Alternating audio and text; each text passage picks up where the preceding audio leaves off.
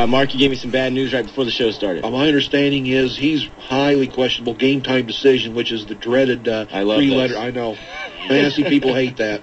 And at tight end, we're looking at uh, Shockey, Scheffler, and Witten all probable. We already talked about Witten. He should be good to go after the bye week. Uh, Alex Smith questionable, and Heath Miller still out. Anyone I missed? I think All you right. got it. Those are the injury updates for you. 529-1450 is the phone number. Good morning. You're on Fantasy Football 101. Yeah, hey guys. Um, for the second year in a row, I've had to suffer through Steven Jackson's fasciitis issues that seemed to set in. Last year was six weeks for growing. Now it's thigh.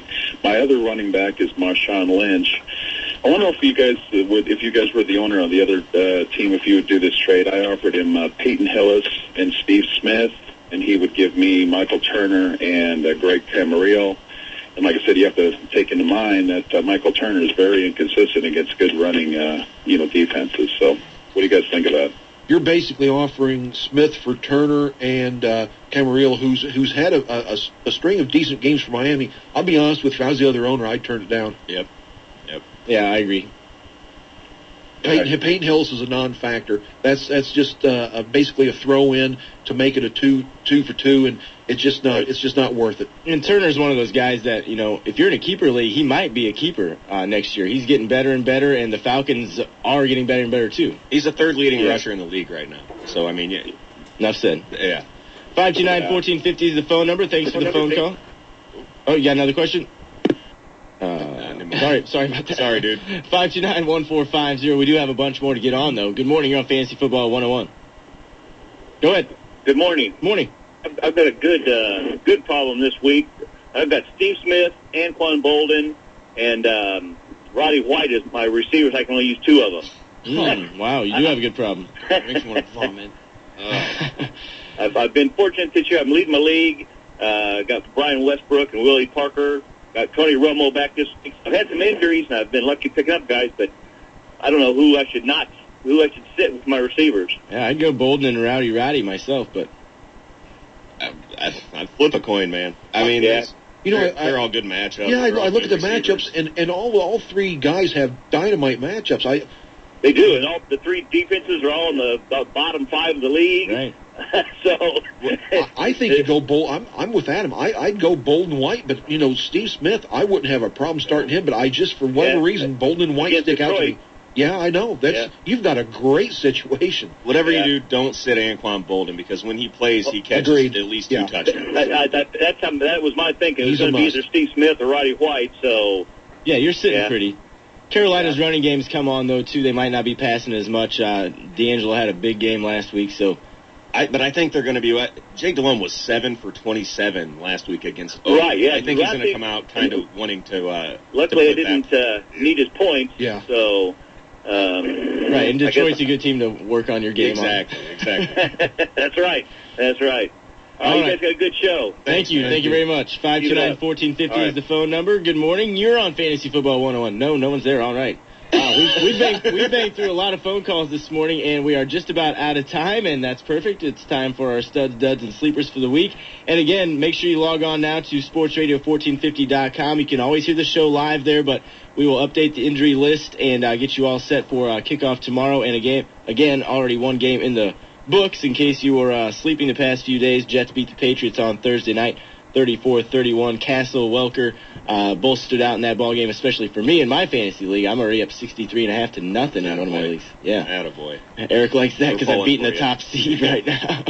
We're all pulling for you, Adam. and uh, Mark, he's in first place in uh, another league that I'm in. But who are your studs, duds, and sleepers for the week? Uh, Matt Ryan's my stud. He's four and zero at home this season. Five TDs, no interceptions. They played Denver, ranks 28th versus the pass, and they have given up eight TD passes in the last four road games. Dud, Marion Barber. This is unbelievable. He's never rushed for more than 45 yards in a game in six meetings against the Redskins, Really? and has one TD. Isn't that incredible? Yeah, Wow. sleeper, Jerious Norwood. Uh, Denver ranks 31st, giving up 5.1 yards a carry. Norwood, granted, is the backup to uh, Turner, but Norwood only needs six or seven carries to get 70, 80 yards and bust a big one. Sure, sure. Plus, he's a sleeper. That's what it's all about. They don't probably catch a ball for 60 yards, but my stud for the week, and we'll just keep picking on Denver here. I like Michael Turner um, to pretty much go wild. Like I said earlier, he's a third leading rusher. I'm sure he'll find the end zone against Denver and probably be over 100 yards. Uh, my dud, is Kyle Orton making his return this week for the Bears, but they're going to Lambeau. It's a it's a tough place to go, period, and uh, a tough team to throw the ball against. So probably don't start Orton. But my sleeper, Tyler Thigpen, who we talked about earlier versus Yeah, New baby. Orleans. Um, if, if you need quarterback help and he's sitting there, pick him up and plug Coastal him in. Carolina. I, I Coastal your Carolina. sleeper, Adam. That's all right. That's all right. I'm still going to keep it. I, I agree. That's my sleeper, too. Uh, Tyler Thigpen. I think Kansas City's going to throw the ball this week against New Orleans, and it's going to be one of those shootout games. Uh, my dud is uh, David Garrard. We talked about him a little bit earlier uh, today, but. You know, they're going up against Tennessee. Garrard has been bad the last couple of weeks, so uh, he is my dud and my stud. Uh, even though he's probable, and we also talked about him too, he did pop up on the injury report with that concussion, but I'm going to go Frank Gore against the Rams. Uh, Rams can't stop anyone, and uh, I think Frisco's playing a little bit better. They played good against the Cardinals. Uh, and Singletary's got those guys focused now. I think he's got their attention, that's for sure. And I think uh, Frank Gore is going to have a big game in San Francisco against the Rams because uh, weather out there probably much uh, more favorable than it is here in the Midwest. They're probably just doing everything they can at San Francisco to not see him pull his pants down again. yeah, I think we're all hoping that never happens again. Uh, and hoping he doesn't go off either. I don't know if he's going to uh, stay as the head coach in San Francisco. I think he's going to need a couple more wins before that happens. But He's a Looney Tune. Oh, they need him, man. They need him. I need him. I need him to stay as head coach of the San Francisco 49ers. That that is the funniest thing I think I've ever You want seen. for entertainment dude, value, dude don't you? comes out and he's yelling and screaming. Oh, it's great. just for pure entertainment. Oh, it's just great. I think we should put him in Detroit. Is it some awful team. Every week we have good audio. no, he'll have a heart attack man. or brain aneurysm. We don't need him in Detroit. No one wants to coach in Detroit. I He'll be butt naked in the locker room every wow. Talk about a tangent. Sorry, talking Mike Singletary in his underwear again.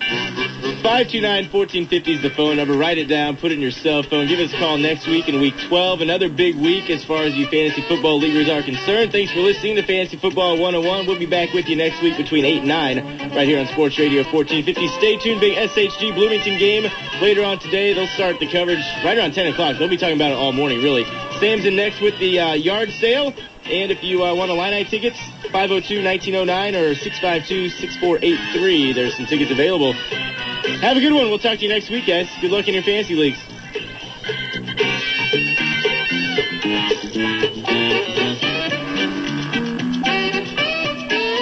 There's no talk of lemons at Green Hyundai Certified because you won't